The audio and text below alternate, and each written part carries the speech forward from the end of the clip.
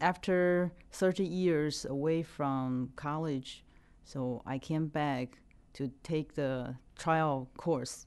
And uh, so specifically, I take the winter course because the such a short period of time, I can decide if I want to continue or if I can continue.